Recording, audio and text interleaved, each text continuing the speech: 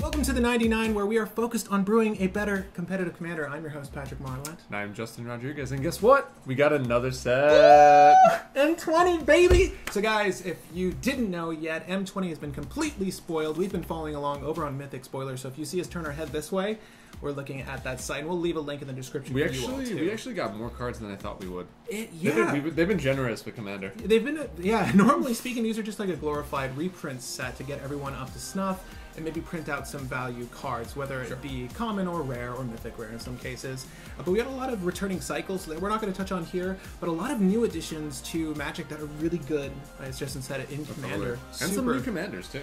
yeah, oh, yeah. I mean, we're going to talk about one in particular that it goes into a shell deck that I'm constructing. I'm very excited about. But before we get into the set review, I want you guys to know that you can follow us over on Discord, Twitter, Instagram. If you want to continue the conversation over on mm-hmm. those forums, you can do so by following the links down in the description. Of course, just below that is the comment section. Share your thoughts on everything that we discussed today Oh yeah, berate us. berate us with those comments. We love it. We love answering comments, me in particular.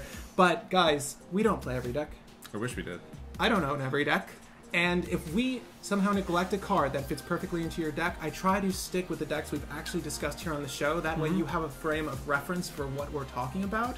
Um, instead of talking about decks we've never discussed. So, uh, if we do miss a commander that a card would be perfect for, or just a card in general that you think would be perfect Definitely in let us commander, know. let us know and continue the conversation in the comment section. Shall we begin with white? I think so. White got one card, White got one card, which is amazing. Okay, so white is usually like the bastard child of every set, Yeah, but we have one. I'm looking. Just I'm triple checking now to see if we're wrong. I feel like Gauntlets of Light is that a reprint? I don't know. Come don't- on. Anytime it says untap creature, there's usually some sort of combo there. Uh, not that you need uh, maybe Boros Kikijiki in the Kikijiki shell Gauntlets of Light. I don't know if that's Sure. a reprint, but that's kind of cool. God's willing is okay, guys. I'm. We're just gonna get to it. Brought back. Brought back. So it's two white. So white white instant speed card and uh, art's pretty solid. Choose up to two target permanent cards in your graveyard that were put there from the battlefield this turn. Return them to the battlefield tapped. It's an instance. It's double whites. What decks would play this? So, namely, if you guys followed along with the Teshar primer, Teshar would really enjoy this. Mm-hmm. It's good protection for your combo pieces because we're going to be playing out a lot of our like our sack engines, Yep. and even if we need ramp to recast Teshar, we can bring back a fetch land. There's so many utilities uh, that this will allow us to utilize. Because it's any permanent. Yeah, That's really, really powerful. there's very few cards in the history of Magic that lets you bring back a permanent in such a way Mm-hmm. um, that's this cost effective. Mind you, it's double white though. You could bring back Teshar with this. You could just let it go to the grave if someone wants Yeah. to interact with Teshar or counter Teshar. It's an interesting card, but how much white does your Teshar list actually run? Really, not that much. What's crazy? Which is crazy. Yeah, because uh, I think we have ten plains in the list, and of course you You're can like consider your artifacts. you can consider your prismatic vista and your fetch lands uh, white sources too, because they're going to get you those basic lands. There's also that white deck, Lin Sivvi, um, which Yeah. is like the Rebels. Yeah, I haven't played that, but I know there's a couple of devoted fans for that. I'd love to know if this is something you even something consider. want. And I'm actually building, and I want to talk about this a little bit later when we touch on black. But I'm building an Orzhov list for Selenia, the Dark Angel. Selenia is considered an angel. Um, brought back in that particular list might actually be really good. The only issue is, are we going to have that much white mana? What's funny is she actually has more white mana on deck on average than Teshar, That's who's mono white. But uh, honestly, I think that is the only real CEDH worthy card from M20. Unfortunately. Mhm. Um, and unless you can note one for us that you think would be really great, um, the Cavalier does not deserve any mention. Uh, Great art. Unfortunately, I like the art. I like the art too. I love faceless elemental heroes. I mean, some some folks were asking if this would be good in Teshar as well uh, because of its second ability. When uh, all the Cavaliers have an ETB and an LTB, but basically when Cavalier of Dawn enters the battlefield, you uh, create, you can destroy a permanent and create a golem. Its exit ability allows you to recover an artifact or enchantment from your graveyard to your hand. Not good for five. I think it's overcosted. You can't Yeah. bring it back to Teshar. No. It's triple white. Trip white. You're yeah. playing that for bling. That's it. You're playing that for bling, and it's going to be easy to get those foil. Anyway, guys, that is it for white. All right, the bane of my existence. On to blue. What did blue get? Blue always gets good toys. Yeah. Um, we got Ling? uh, No. Mugen Ling. No. That- I mean, it might be a good cube card. Um, what I'm interested in is Drawn from Dreams. It's Yeah. two generic and two blue, and it's basically like a sorcery speed dig through time. Yeah. So, dig through time. I know a lot of blue lists do run it. Um, Urza definitely runs it. Naru Meha still runs it. Hmm.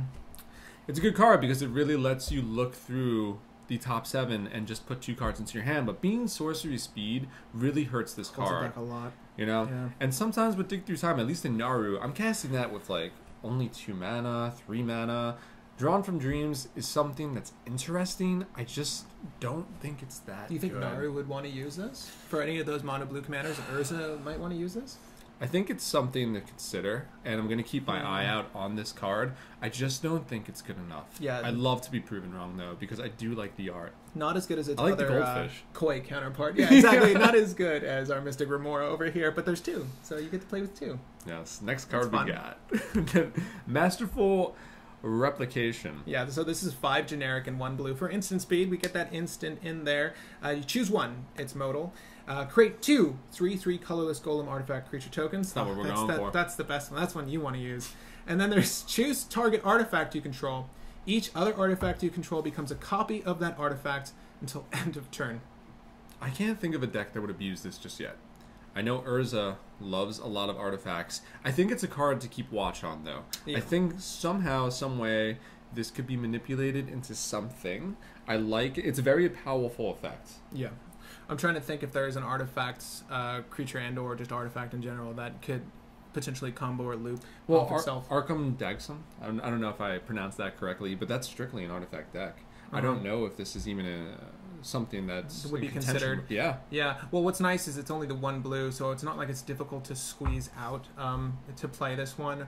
And you could really get some serious ramp going if you your deck runs a Threat no, no. I want to be. Lotus. I want to be even wanna- more degenerate with this. Yeah. I want to yeah. copy something ridiculous. Yeah, I haven't really looked into. I'm not a huge blue enthusiast, so I didn't look into what folks are doing with Masterful Replication. However, I am certainly curious. It is one of the more interesting cards that come out from this set. And this next one is really interesting because it almost feels commander centric. Uh, this card is called Tale's End, and it's funny because people don't mainline this particular type of counter, Mhm. but it's that counter and then some. Uh, it's a one generic, one blue, instant speed, counter target activated ability, triggered ability, or legendary spell. Think of Mhm. all the times decks win because of triggered abilities. Let's just think of Hulk, for instance. So- But but you don't really you know mainline stifle or any of those effects. But this lets you uh, counter a legendary So, spell. If you were a deck that mainline Stifle, and Naru played around with Stifle for a Yeah. while, this feels like it'd be a better Stifle because it's it, there's Right. extra things that you can do with it. More so countering someone's commander and also countering all of these new war planeswalkers. Mhm. Um, it also hits Teferi, which Yeah. is pretty ideal. Um, I don't know if it's good enough. It seems very restricted in what it can do, and blue typically wants to play the counter spells that are broad in nature. yeah. Um, like is this even a replacement for counter spell, no, which is two blue? it's definitely right? not a replacement for counter spell. because how many times is someone going to drop a legendary that wins the game on the spot? A lot of commanders, a lot, A lot of commanders went do have that potential. Like Mhm. I guess a Godo would be a pseudo threat if you know they have the threshold of mana. So no, no, I would probably rather stifle the Godo than Yeah. counter the Godo. Yeah, that's I would just be more- like, okay, you can come in, but you do nothing. Yeah, use your treasonous ogre, go through, do the thing. It's fun. Where are you at now? I think it's, it's you know what blue is having a lot of cards this set that we want to keep watch on. You know, Tale's End is legit though. sideboard cards. I don't know. They might make it into a main list. I want to look at it. It doesn't replace delay for me. It doesn't replace counterspell, not by any means. But it's something to look at. I just and I just looked at the flavor text. Did you read this? when you are gone, will anyone remember your story? By unknown, Unknown. Who do you think? Name that quoter. Who said that? probably Teferi. Probably did. Spectral Sailor, one blue. We're like really updating flying men here because we have a flash flying one one. But what we're really interested in is the three and one blue draw card. what? Okay. So it's like it's uncommon. It's one body, one one flash flying. That's really good. I feel like I want to want to draft that. That's draft check. So Leovold would like this. Yuriko would like this. Naru Meha, I don't know. Um, yes. We we you don't like think so? I mean, you were using the buyback card. Um, Okay. Wi- Angel's Whisper. What is it? no no Whispers of the Muse. Whispers of the so Muse. Whispers what the we Muse. need to understand for a card like Whispers of the this is what is its base value. Whispers of the Muse at the very least is still a cantrip. It's one blue, Yeah. Draw a card. Spectral Sailor is just a 1 1 flyer for 1 at its core. It doesn't Mm-hmm. do anything. However, if you have Ghostly Flicker with Naru Meha, this is now an infinite mana post combo It also outlet. helps with stratagem if that's a targeting creature. It's a creature body. It body. does, it does. Yeah, It's, you just cheat that out on my opponent's turn. I've got the body now. You know, I've Mhm. got the stratagem. That's interesting. I really do Yeah. like this card. In an infinite world, obviously, um, anything that says you know pay X, draw a card is going to be good. Fantastic. Uh, so long Mhm. as that mana, uh, that infinite includes blue, uh, you're in a good spot with Spectral Sailor. It's really interesting that it's on a cheap body like this. What's also cool is if it's uh, depending on the deck, you know, Mhm. it's Im- immensely tutorable with effects from uh, Recruiter of the Guard, Imperial Recruiter. Like uh, the one one is actually really really beneficial. So. Yuriko would definitely run this, and um, Leovold back in the day would run this too, the Flying Men list. But Yeah. Naru Meha, this is something we need to consider. Do we need more outlets? This is an outlet that only works post Infinite. yeah. So, But it's flash too, so you can flash, flash in too, that yeah. body right when you need it too. which is I don't know. Yeah, I really like this card. Certainly one to look out for, and it's uncommon, so you're probably going to pull it. Um, let us know if you're brewing with this guy. It definitely stood out from the blue cards for me. Mhm. Murder is common now. It's crazy. There's gonna be so much murder. Yeah, there's gonna be so much murder in this uh, in these drafts. Um, but anyways, we're we're talking about black. If you couldn't tell there, uh, we're just giving black a, a once over. We know the cards we like. We're just trying to see if there's anything else that's really of value. And one of the first cards that was spoiled uh, is an interesting one, and it deserves discussion. It's certainly no Imperial Seal. No. But scheming symmetry.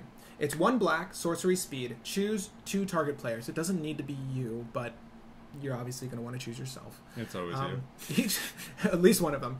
Each of them searches their library for a card, then shuffles their library and puts that card on top. There's no life loss here. You just tutor, but you're letting someone else tutor. you. hmm It's interesting because uh, we love cheap tutors. We love efficient tutors. However, how do you leverage this in such a way that they don't get value? Circu decks.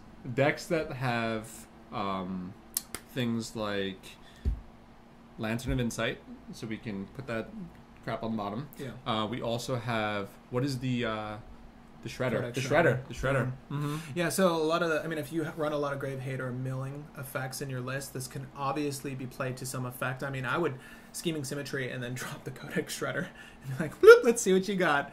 Um, yeah, obviously, if you're gonna, if you have those cards Mhm. in hand. Otherwise, Scheming Symmetry, it's it's interesting because you don't get to see that value first, which makes me believe that in a four-person game, you and one opponent, you're giving him the benefit of tutoring whatever it is he wants. Mhm. It actually puts all eyes on uh, him or her first. Unless you can trip into it. That's true. I mean, you could do this. You could set yourself up and cantrip into it, obviously. Um, but it does, uh, in essence, only by itself puts the pressure on that player first. So, So, what would you grab if you were given a free tutor? Would you go chain. straight for your value? I would engine? go straight for my value engine, but here's the thing: I wouldn't run this in just any list. This needs to be a deck that's going to manipulate other players' decks. Mhm. I feel like this is going to be one of This those. is too much cards- value for somebody else. Yeah, this is one of those cards that's going to cause a lot of diplomacy at the table. Like Mhm. folks are going to be talking about how to hit who first. But I love it, and Sam McKinnon killing it again. Uh, the art's amazing. Get a little koi in there. It looks like a koi off to the side, doesn't it? Oh, To the right hand side. Sure. At any rate, scheming surgery. We like it. You should like it. Maybe try it. I'm not going to be using it. No. But I will be using this next card. This card is the newest commander. I'm going to say it. You're not going to play him in the command zone, but you're going to want to use him when you're 99. This is Vilis, Broker of Blood. He's five generic, trip black. Try Ad Nauseam into that. No. Eight damage. Enjoy yeah, it. yeah. Eight. oh god, he's so awful. Um, so he's eight CMC for a legendary creature demon. Ooh, you, you might be able to do a little uh, thing where you summon him with those uh, those little uh, clerics. The apostles? No. no, do that. Uh, so he's a flyer. You get the uh, activated ability to pay one black, pay two life. Ooh. Target creature gets minus one, minus one until end of turn. And its final ability, it's a triggered ability. Whenever you lose life, draw that many cards. Damage causes loss of life, Sell me obviously. Uh, so it's an 8 8 body as well, just so you know. Um, I am currently brewing a list for this particular legendary creature uh, with Selenia the Dark Angel. I mentioned it a second ago. That's Orzhov. Uh, and Orzhov has a, some interesting janky combos, but this guy will enable them. And to me, it's a very fair Griselbrand. I know that was the immediate likeness that was drawn because he himself doesn't allow you to just pay life and draw the cards. So you actually have Mhm. to work for it or have mana prerequisite to do his ability and work for it. He can hit himself with minus one, minus one, but you're not really trying to do that. You're trying to get him on the field one of two ways. You're trying to reanimate him or you're trying to use Phyrexian Delver. Now, why those yeah, two? Yeah, reanimate. As soon as you target that card, it enters play. It's on Period. the field, and then you lose the life, so you're going to draw eight. Exactly. It's Fantastic. Mm-hmm. sequential. It's sequential. So if you look at those cards like Reanimate or Phyrexian Delver, uh, when they are cast and or when Phyrexian Delver hits the battlefield, you can bring this guy back, period. And then you lose life equal to its converted mana cost. So you're Mhm. immediately seeing eight cards off of that. Life but then and you, death that too. you can life and death that. So in Orzhov, what we're going to do predominantly to draw cards, if you don't know who Selenia is, she has a pay life ability, pay two life to put her back into your hand.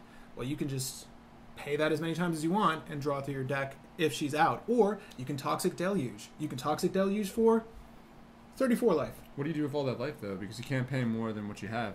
No, no, no. The thing is, you can pay as much as you have. So if at Mhm. this point I have 32 life Mhm. and I have him on the field, I'll just be conscious of what my opponents might have, but I'll pay for deluge. And remember, it's an additional cost. So even if someone counters your toxic deluge, you still pay the life. Mhm. So do that, trigger this ability, draw X amount of Yeah. cards. So that list, we're going to do a whole uh, briefer on that list. Of course, I'm going to go through a deck tech to let you guys know how Selenia wins. But uh, And this is a static. is- This is a static ability too. It's not even triggered. uh, whenever you lose life, I'm pretty sure that's triggered. Oh yeah, you're right. You guys can clear it up for us, but Yeah. um, it at when whenever. Uh, Yeah, no, regardless, trigger. Mhm. regardless, uh, even if he was removed, that trigger still goes on the stack. Uh, at any rate, Vilis Broker of Blood, he's certainly an excellent card to have in the 99. I wouldn't really consider him as your commander because Mono Black is stunted more over any other deck. And Vilis is just much better outside. I don't think he's like the next Hulk, but he's certainly a very effective, very fair way to go through your deck because you are going to put yourself at a loss of life. I'm excited to see this. I'm excited to play it. I'm been excited to be proven um, wrong. You, that Prove, me you don't like this card? I don't like this card.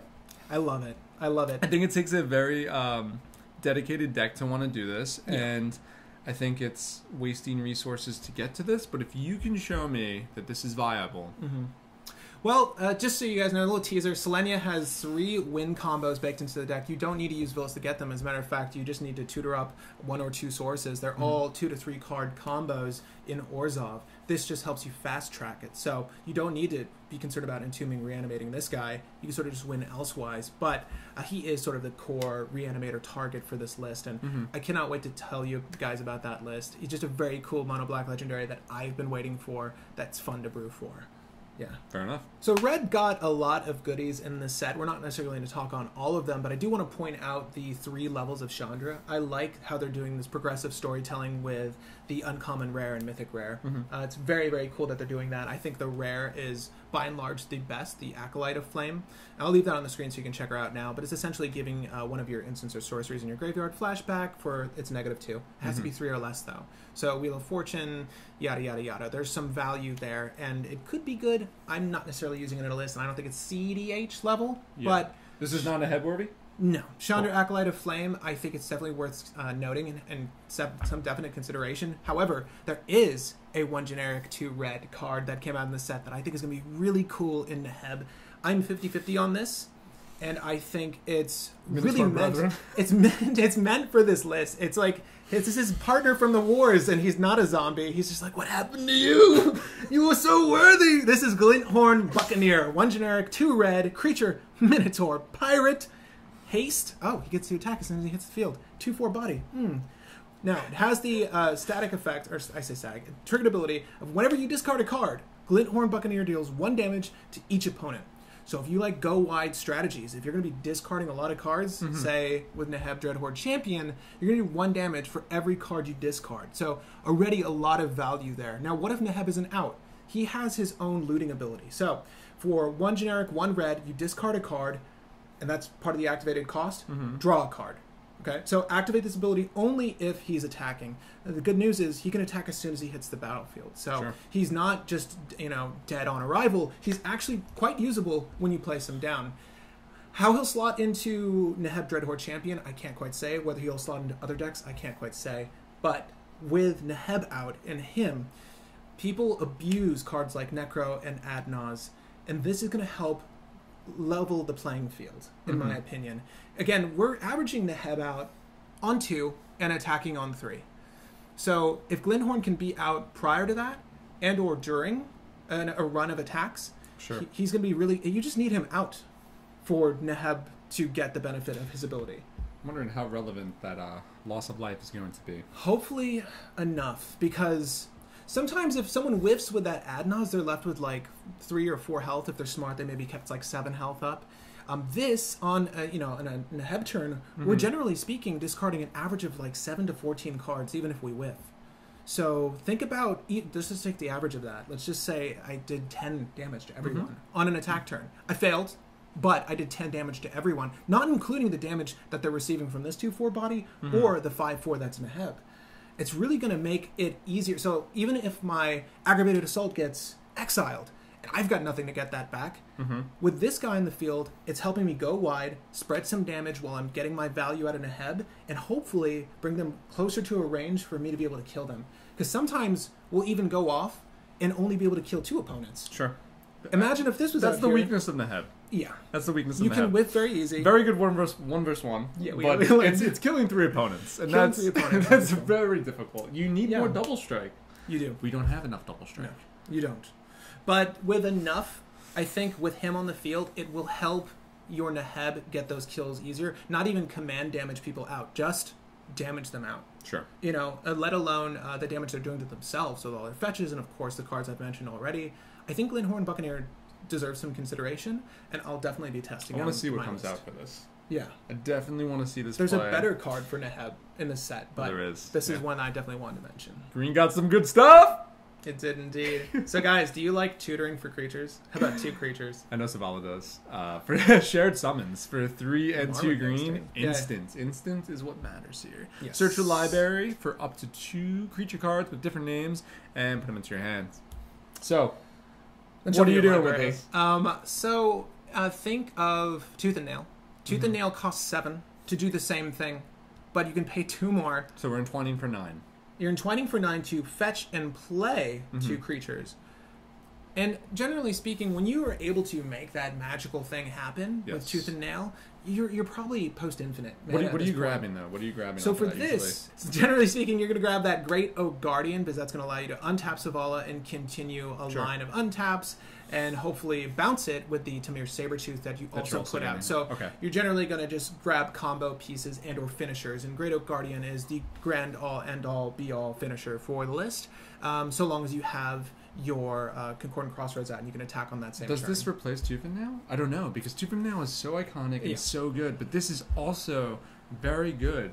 equally viable in the list, and I think that I'm going to sub these two out Mhm. because I'll tell you what, shared summons in a scenario where I have infinite mana, but I don't have uh, necessarily a win. Maybe I'll use this to grab Genesis Hydra and Temur Sabertooth and or Eternal uh, Witness or Mhm. the uh, Snake that does the same effect. Sidewinder Thank you. Um, because that'll allow me to or Skullwinder. Skullwinder, Skullwinder, Sidewinder. yeah. That's a villain from a Marvel comic.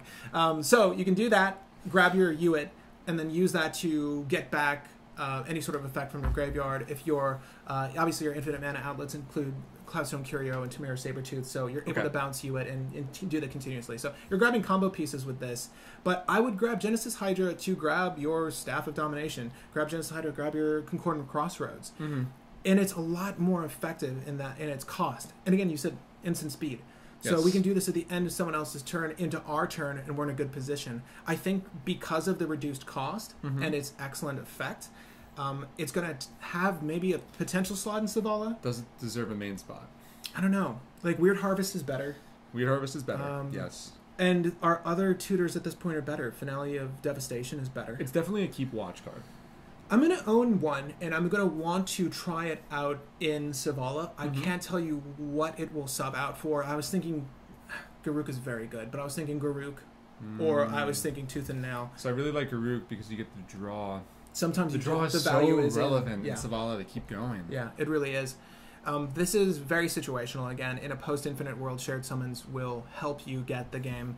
It really, I mean, you grab any number of things. Your Duskwatch Recruiter, just grab all the Mhm. creatures, put them down. It's it's very good. Uh, but again, five mana is steep. I It think is. it might be better though than Tooth and Nail. I We'll have see. to see this. All right. Lastly, for green, Not lastly. What are you talking about? That's not true. We got the best one last. We're gonna save the best for last, but we have Wakeroot Elemental. The only reason I want to bring this guy up, and a lot of people already mentioned it, but Do you if like you the art? haven't noticed it yet, I do like the art. So Okay. Wakeroot Elemental is four generic, two green, creature elemental. Ooh, you can fetch him with Flamekin Harbinger. And uh, it's got an ability, 5 5 body, has the ability of making lands into 5 5 creatures. But how do you do that, you ask? You pay one, two, three, four, five forest, untap target land you control, it becomes a 5 5 elemental creature and has haste. So, Sure. Gaea's Cradle. Gaea's Cradle. So the prerequisite of four creatures on deck, Okay, including this guy. including this guy and Gaea's Cradle, you Untapped. can make Gaea's Cradle a creature. Oh, oh. Then you have five creatures. Okay. Tap it. No, you would need five creatures, six, because you need to be up one every time, right? Yeah. To get infinite mana. Basically, you can get infinite mana. No, you don't need to Wake- be up on it. Oh, yeah, yeah, because you can't keep untapping the guy's Gaea's Cradle. You need to tap the Gaea's Cradle and then target a land you control to untap it. So it's untap target land you control, period. And then it becomes a 5 5 elemental creature. It's neither here nor there if it's already an elemental. So with 5 green, which you're netting from Gaea's Cradle, if you have 6 creatures on deck, you're always going to be up 1, tapping and untapping Gaea's Cradle. So How are you untapping? Uh, how are you untapping your cradle? Untap target land you control. But you can't keep making. You're just gonna keep making it a five five. Yeah. Oh. Yeah. That's it. oh yeah. Okay. It becomes a 5 5 elemental creature. So you just keep saying. I'm a five five, and you keep untapping your cradle, and you keep netting one additional green. Yeah. Got it. So it's an interesting way to. It's very. There are better infinite mana strategies in green, is what I'm saying, and I'm sure outside of green, Mhm. I mean, you, you name it, there's going to be a better way to get infinite mana. Sure. But if you have a way to put this guy down, I mean, this. I guess you maybe you can try this. This is cool for casual. I don't know It's if very it's cool gonna for break casual. into any CDDH, but I like that it's a combo with Gaea's Cradle, yeah, which two is very hard to even obtain in the first place if Yeah. you're not playing CDDH or if you're not proxying. But Yeah, it's a very go wide strategy with this. I dig it. I mean, if if if any, it, thing is, you're not that many people run at least land removal in our player base, so your Gaea's Cradle is going to be relatively safe. Maybe Wakeroot Elemental could be viable as a backup plan, Mhm. but it's a weird slot to take up in a list. At any rate, if you guys were planning to use Wakeroot Elemental in this fashion, uh, let me know what list you're using it in. On to the best one. On to the best one. I can't wait to get this in foil. Veil of Summer, one Yo. green, Yo. instance. Instance. Draw a card. That's the most important thing because we're cantripping with this. Yeah, well, draw a card if an opponent has cast a blue or black spell this turn. They're going to. Spells you control can't be countered this turn. You and permanents you control gain hexproof, hexproof from blue and from black until the end of the turn. This is going right into food chain, I think. This is very good. If you were already running Veil of Autumn, yeah, Veil of Summer, or uh, what is it? Uh, Autumn's Veil. Autumn Veil. Veil of Summer is like even better because it's a cantrip too. I Mm-hmm. really like this because it's going to protect your cards on the stack from counter spells. It's only one green, Yeah. and I know for food chain at least, green is our primary color. Green, then black, For your list, for sure. then blue. Yeah. So I like it. I don't know how it slots in, but I really like that it cantrips and protects your own stuff, and Yeah. it's only one green for all of this. It's interesting because it's certainly, I mean, for the second effect, spells you control can't be countered this turn. Yes. Uh, this is fantastic on a combo turn. Now, just because your spell can't be countered doesn't mean you're necessarily going to win. They might have a different way of affecting your board state. So effects Mhm. like silence are still Bouncing. better. So this is You great know. in uh, Selvala. I think this is excellent in. Selvala, and it certainly doesn't replace um, Autumn Veil, which is what a lot of folks were discussing. Yes. Uh, You want to run, Run both. both, yeah. I want to run both. I use Avoid Fate in my list just because not is anymore. usually priority number one. I'd like to run both. I think Blossoming Defense is still a better because it gives your creature hexproof and buffs it. Sure. Um, that's still better than Avoid Fate, but I'd like to run all of them because Selvala is usually you have to have her out on the field for your games to be of effect. Sure. You don't win a game without Selvala on deck. Veil of Summer is just another way to protect her, and I think it would be wise to run as many of these types of effects as possible. Any Mhm. veils we can get, uh, Especially they- decks like Marwyn too. yeah. Why? Because yeah, Marwyn is it's even more treacherous because uh, she needs to be the one that's powered. So it's there's the emphasis on her being alive is even higher. Mhm. So Veil of Summer is going to go in any list that you know the creatures matter in some effect. Uh, Veil of Summer is worth it in so many different Would lists. get wrong around this too. I, it's a very good card because it cantrips Mhm. and because it does exactly what we want. And for one mana, it's easy to slot into any list. I'm very surprised. I'm that excited this by is, this uh, card. I feel like with the amount of effects on it, it could have been one generic and one green, but they were very courteous to leave it at one green. One green is really playable for CDH. Super playable. I don't think I'd play this if it was one generic and one green. I would still consider it. I mean, folks run cards like Abeyance, and that's one generic and one white that cantrips and disallows the effects of sorceries and instants, um, mana sources, it sorceries and instants. Overall, fantastic card. Oh yeah, Veil of Summer. Use it in your list if you don't already. So we're moving on to multicolor.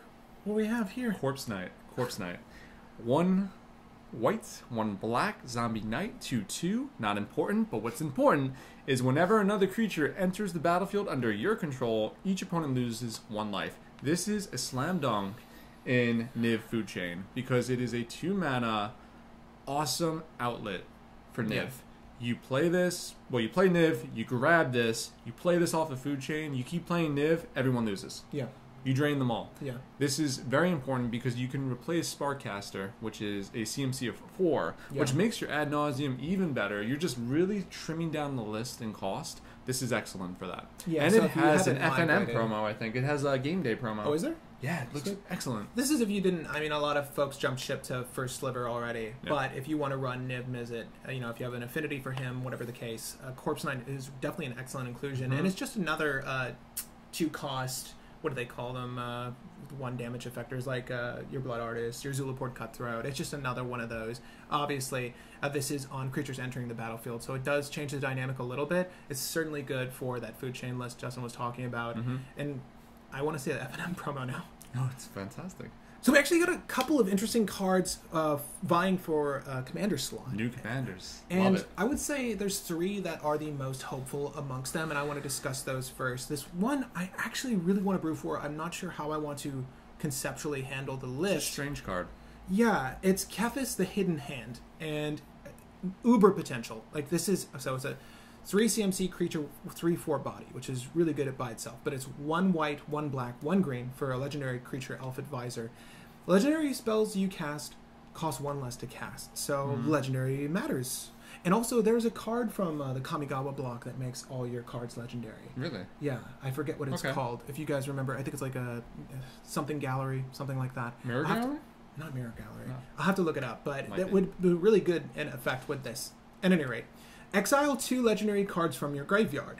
Until end of turn, each legendary card in your graveyard gains. You may play this card from your graveyard. So whatever's there at the time this ability resolves, um, you basically Yawgmoth's will uh, All your of legendaries Okay. in the uh, command zone. You have this sort of effect in your command zone. Obviously, you can throw them down. You're probably going to throw them down early to get the most out of the uh, first static ability. Hmm Again, I'm not sure how I want to brew for this yet. I would love to hear how you guys are brewing for this. You know, it's just a value engine. It's not Mhm. necessarily winning you the game by itself. However, people play cards like Kess because of her one off value of letting you recast cards. This guy has the potential to enable multiple recasts depending on what you're dumping.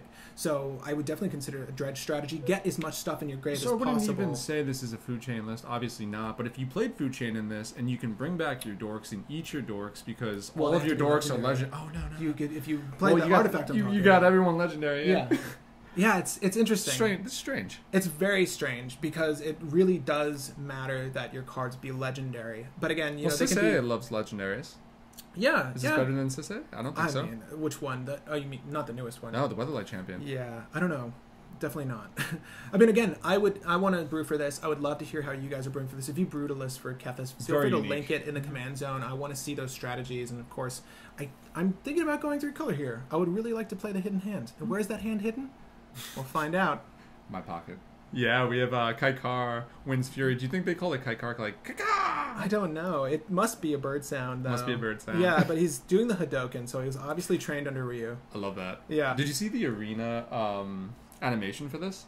No. Yeah, it's like actually casting of Hadouken. What? It's very, he? it's very cool. Oh, so good. Okay, so Kaikara the Wind's Fury. He's a one generic, one blue, one red, one white legendary creature, bird wizard. I like that. Uh, three three body, Flying. flyer, of course. Wouldn't be much of a bird otherwise.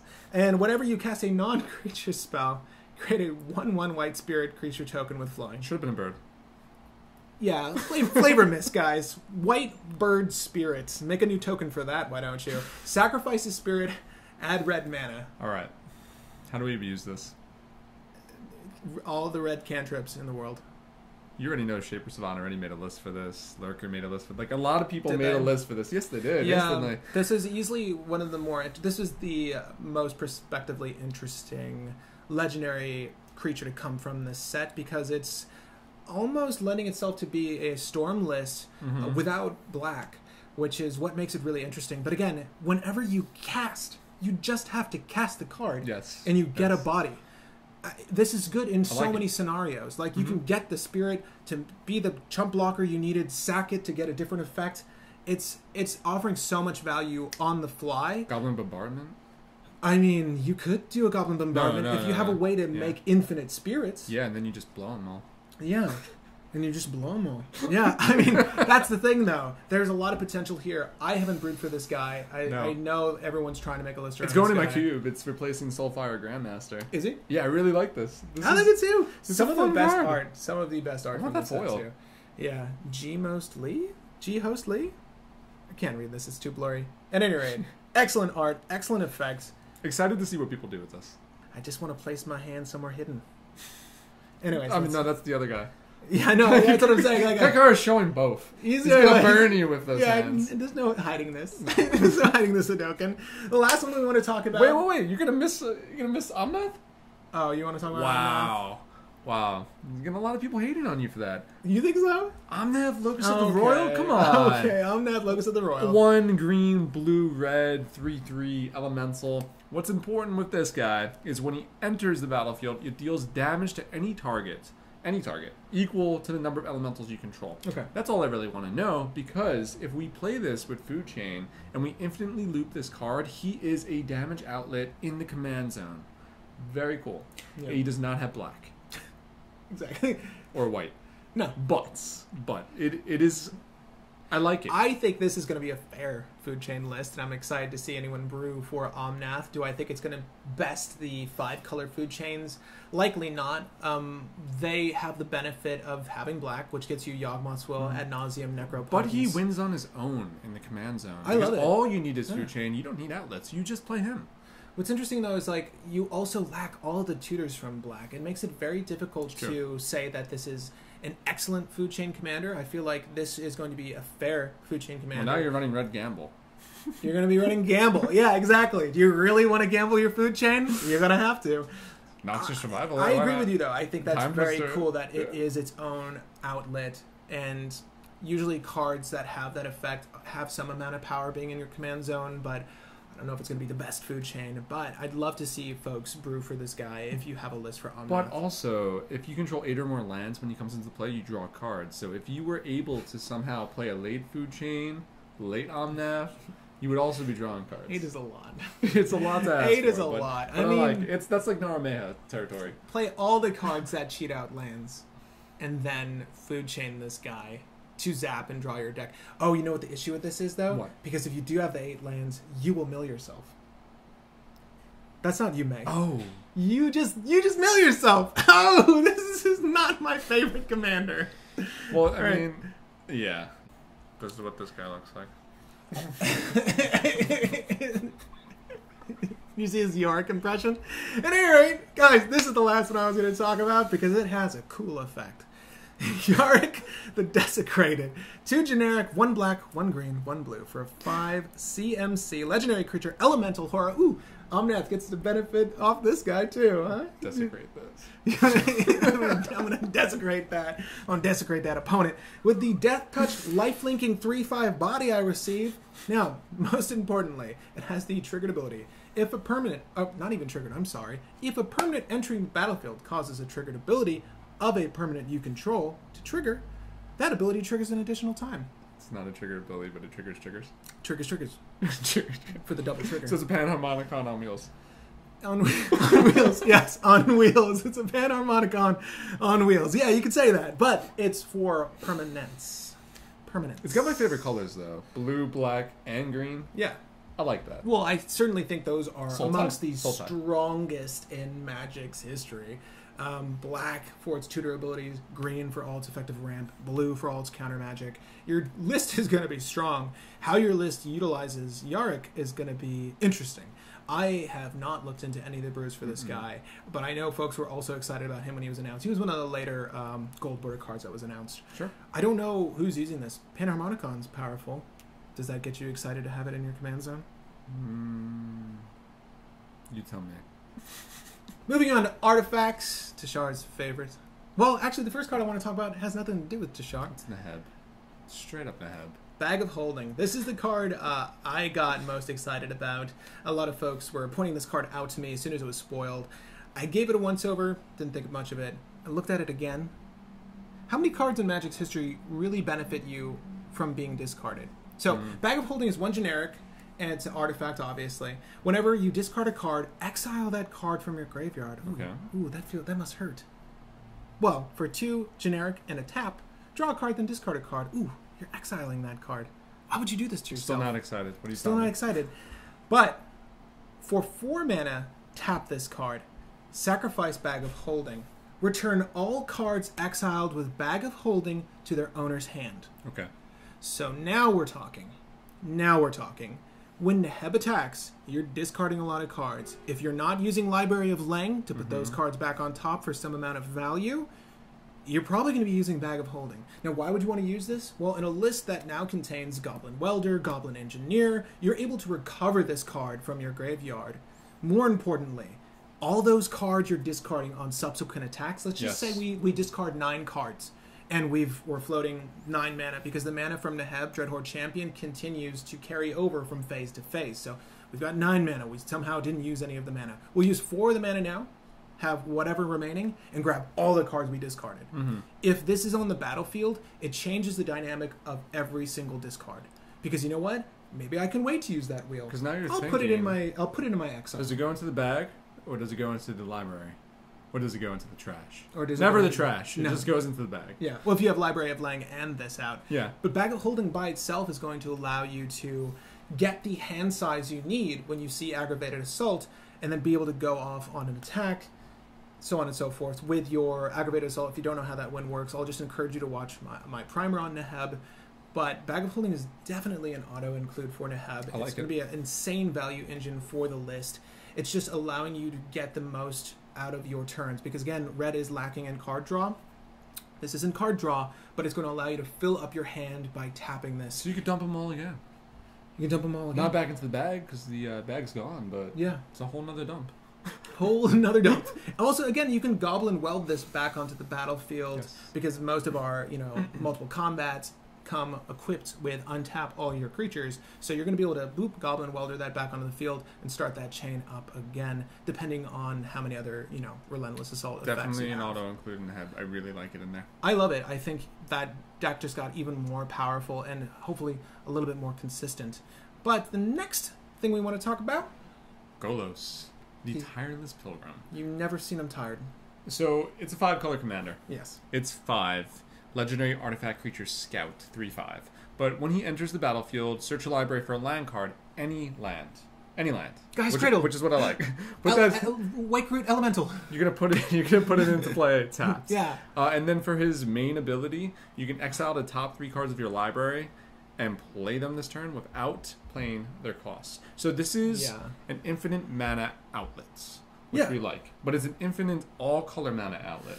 So we're going to need all colors to make It's this pretty work. mad potential, and you you might even want to. I- I think this list is going to utilize a few dorks, so maybe the land you grab is Mhm. Gaea's Cradle. Again, Gaea's Cradle is only netting you um, your forest, Yes. but the activated ability, an important part there is that it's two generic and WUBRG, so that's seven mana. Um, it's going to be a tricky card to really leverage. It's going to need a lot of help to take advantage of that activated ability, but in a world with infinite mana, and we have infinite ways to accomplish that with five Mhm. colors, you can play through your list. Is it going to be as effective as, say, your food chain list? Maybe not. People have mentioned it in the food chain server. I don't necessarily think this is a food chain deck. Um, Hmm. I know there's a whole nother server for this card. I have not looked at it yet. I don't really know where to go with this, but I think it's a very powerful effect and a very cool commander that could see potential play. Yeah. No, I love. I like the potential of this card. I like the fact that he's finding new lands. It He's a scout. We don't have any scouts. they- Selvala. Selvala's a scout? Yeah. Oh, elf scout. She is a scout. Wow. Eric Golos is definitely worthy of mention. I think some folks are going to want to brew for this guy. If you Oh, they're gonna a break it. list, Mhm. I'd love to see it. Love to see it. Um, we've got a couple more cards in the artifact department we want to talk about. Um, Mystic which one- Forge. Yeah. Ah, God, I don't know how to assess this one, but Me either, but it's four for an artifact. Um, you may look at the top card of your library at any time. We like Mm, that. You may cast the top card of your library if it's an artifact I card. like that. Or a colorless, colorless non-land card. And then for tapping it, paying one life, exile the top card of your library. I know Ooh. Ernesto said he was interested affinity for list. Jhoira. Yeah, yeah. So four CMC is a lot. You know, there's a lot of things that slot into the four What's Shard this? range. No, No, you don't think so? No, have so many Mind you, we have 36, not including lands, Okay. land artifacts. So Mystic Forge is interesting because you are able to at any time see the top of your deck and then Mhm. also play it. The thing is, uh, exiling the top of your life. What I wish, what would make me consider this for Teshar, in case you, some folks had asked me, Mhm. if you were considering this in Teshar, let me just put it out there. Exiling the top card of your library is not what you want to be doing. If it said pay one life and mill it, put it in Mhm. my graveyard, that would be amazing. Then this would be an auto include. But unless its effect is as good in my list, and this might not be fair, as Mhm. Krark-Clan Ironworks, like I'm not gonna be competing over playing four for that or four with for this, because that can end a game. This can help leverage more effective turns This out of is my like game. a mini engine, and I know Ernesto's so excited for this because he can cheat out the cost. He plays Yeah. so many artifacts. yeah. Well, with Sensei's Divining Top, Uh huh. this will let you draw your deck if you have How? if you have a cost reducer. So if you have Helm of Awakening out, Mystic Forge, Sensei Divining Top, draw your draw a card, put Sensei Top on Ah, top, pays yes, zero to play it again, draw a card. So there, yes, there is potential here, I do like that. Um, Helm of Awakening. And or any And cost reducer. The Um, Jhoira has- Inspector. yeah. And then there's Mm-hmm. the other Ether dude who gets to reduce cost of artifacts. Yes. The blue guy. So it has potential. No, yeah, with Sensei Divining does. Top, like there's just another reason to be running that must include. I think Mystic Forge is great for that. Um, Teshar doesn't really do that. I mean, it, it's very cool. My list doesn't use Sensei's Divining Top anymore. If you use Sensei's Divining Top and plenty of cost reducers, there's only two. Yeah. You don't think you'd want to run that into Shard? It's just not Uh, good enough. no, no, no. It's not that it's not good enough. It's just there are other effects I want to be casting. But Mystic Forge again, very good. It has combos. Maybe you should play it. Manifold key. Okay, so we have the Voltaic key. Now we have the Manifold key. Manifold key only costs one as well, Hmm. but the main difference between this, there's two main differences. It can't untap itself. The Yeah. key can. Yeah. But also, this one has three in a tap. Target creature can't be blocked this turn, which is useful for certain commanders that need to get in. No, but yeah, it's interesting because this, uh, even decks that don't leverage Voltaic Key in a combo, Mm-hmm. like it for its ability to ramp. Now, this allows you to ramp like you would any other list, Mm-hmm. and maybe if So you're your using Grim, your Basalt. Yeah, your Najeela might Dynamo. benefit from this. okay. Like being able to just get in there and create the tokens Okay. might benefit from this. Obviously, Neheb might benefit from this. Of course, three CMC is a lot for that activated ability, and of course, you Mhm. are tapping it to get the one creature to be unblockable for the rest of the turn. It's very noteworthy, though. So it's a Voltaic key with extras um, attached. It just can untap itself. How Mhm. often are you Godo would use this. untapping? Godo would use it. Yeah, why not? Yeah, Godo would use that. He would love this. Yes, Godo would love this. You Right? can get in. You Yeah. can get in no matter what. Yeah, but then there's plenty of combos as well that rely, like your Breath of Fury combos rely that a creature be unblockable. Mhm. uh, at least to get the chain going. So you could do it with that. And Combat Celebrant, you're usually going to be copying, making copies of him. So it's interesting. It's um. So definitely the- much watch card. Yeah, must yeah. watch. Can't even speak today, but I really like. I really like the key. yeah, we, we like the key. I like the art. It reminds me of Pokemon for some reason. You know how they do their art where it's just like a shimmery item floating. In, Sure. In Yeah, yeah. it? This just reminds me of a Pokemon card. Nice Ruby. Um, but Manifold Key, own it. I think it was like one of the last cards spoiled, and you were very excited about this. I had to text you the image, and I said, "Hey, would you run this?" And you said, yes. "Yes, I would." sir." Yes. I don't Salvager know, of uh, Ruin. I don't know how I said it. Yeah, but yes, I would run this. Oh my gosh, the foils are so cheap right now too, because no one cares about this card. Not in a commander sense, but if you play Teshar, guess what? We just got another apostle in our ranks. So it's three CMC artifact. Three's the magic number, baby. Artifact, creature, construct. You can tutor him with your Scrapyard Recombiner. You're not going to be running Scrapyard Recombiner. I tried. It's not where we want. It's not good enough? No, but you could. There's actually a couple of constructs in the list already. A workshop assistance construct. Okay. Your um, the dude with the ability to sacrifice creatures, Ravager. Arcbound? Arcbound Ravager is Okay. a construct. If I'm not Oh, yeah, he mistaken, is. He might be. He might be. I don't know. I bet you he is. Five dollars. Five dollars and a bacon, egg, and cheese. Says he is. No, he's a beast! No, he's a beast. Wait, wait, wait, No, what- what what he used to one, be? What he the used to be? Thermite Navigator No, no, is no, the no, no, construct. Go back, go back to like his original art. No, it just it doesn't say anything for Arcbound Ravager. You're a liar. I'm not a liar. I own that one. Here, there you go. Nothing. That's the one I own. Arcbound Ravager, no. The other creature that sacrifices not a construct. irrelevant. Guess what? Salvager of Ruins. You can sacrifice Salvager of Ruins, colon, choose target permanent card in your graveyard that was put there from the battlefield this turn, return it to your hand. Target permanent. So if you have this out early, what you can do is save any of your permanents. Amazing. Amazing. You remove my sack outlet, fine. I'll put it back in my hand. I'll recast it if that's what I have to do. But on the turn I'm doing that, if I put Teshar out beforehand, I get mm-hmm. Salvager of Ruin back. Now the benefit of having this guy, again, petal. Yes, Lotus, but anything. Here's the thing: Salvager of Ruin is a self-sacrificing apostle, and what does that mean for us? If you don't know what the apostles are, I would encourage you to watch my Teshar primer. How religious are you? That deck made me. That deck is my religion. Um, so Teshar, essentially in that list, the apostles bring back cards from our graveyard, and they're always going to be artifacts, and we're generally looking for those zero-cost artifacts to create combos in the list to either mill our opponents, damage our opponents out, a multitude of things, draw through our deck, make infinite mana. This guy is one of the best because we don't need a sack outlet with him. He is his sack is, outlet. yes, so is. you have Teshar. You can loop with You him. have your, let's just say Lotus Petal in this instance. You Mhm. sacrifice Lotus Petal. Yes. I'm going to sacrifice Salvager of Ruins to grab Lotus Petal. I'm going to play Lotus Petal. He comes Teshar back trigger. to the field, I get Salvager of Ruins. and you just keep looping for infinite mana. That's it. Wow. That no, that's that's really strong. Yeah, that's not bad. And then you have Conjurer's Bauble. I'm going to sacrifice Conjurer's Bauble. Sacrifice Salvager of Ruins. I'm going to draw a card. You're just going to go through your entire deck. There's a multitude of things you can do with this. Its only caveat is that it needs it needs to have been placed in the battle from the battlefield into your graveyard that turn. Okay. But again, it's literally any so many permanent. things can do that. So many Yeah, things can do that, especially just- in the Teshar list. even if you just want value from it, like you can crack a fetch, uh, use Salvager of Ruin, get the fetch back, play the fetch again, ramp yourself. Like it's giving you value. Well, you can't play two land. No, no, two no, no. But you can use yeah. its ability, crack the fetch, pl- put the Oh, land into oh, play. sure, sure, you know what I sure. mean? Okay. Like that's not going to uh, count as your land per turn. Mhm. But there's so many things you can do with this card um, outside of just its own combo phase with Teshar. Mhm. Uh, you're going to want to include this in your list. And of course, it's tutorable because it's a 2 1 body.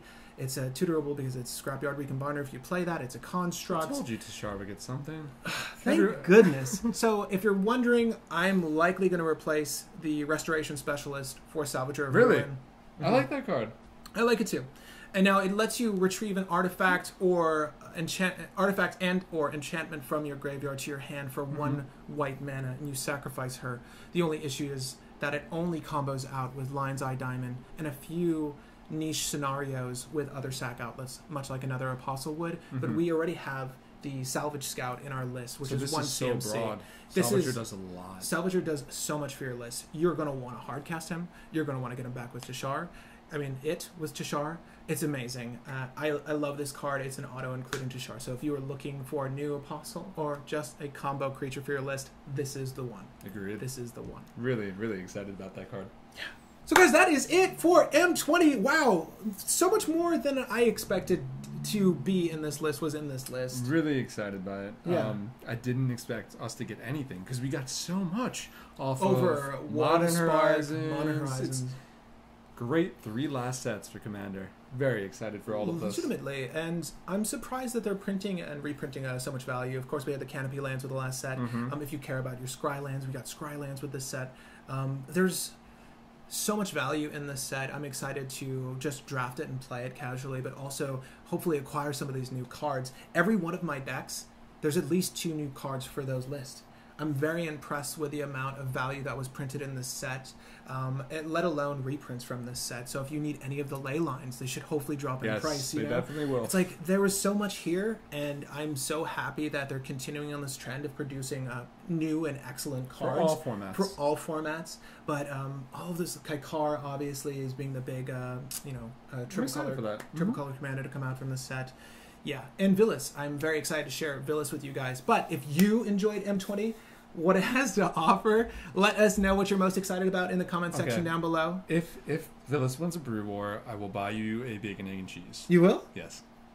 Oh, oh, you know I'm playing Vilis on our next Brew War. So you guys know I actually already bought the list. I the first the first day it was announced, the first 48 hours of, of its announcement, Mm-hmm. my life was hell bent on building a Vilis deck. I built three lists and I settled on two, and now I'm down to one. I, I like it that much. We're gonna win a Brew Wars Contention. I, I will run Naru Meha against against Vilis in that brew war. Well. Okay. I will bring Naru back Mm. just for that, just to spite you. I almost want to proxy this, like the cheesiest proxy, just to play Vilis in our next Brew Wars. But I don't know. It's that's too much. I'm gonna get all the cards soon.